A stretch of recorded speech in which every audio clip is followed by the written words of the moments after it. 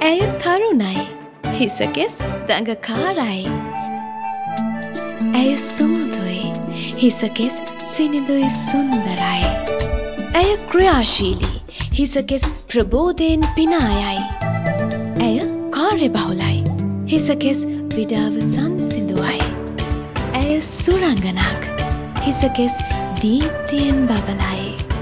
ශෙලෝ ශැපුසා කන්ඩිෂන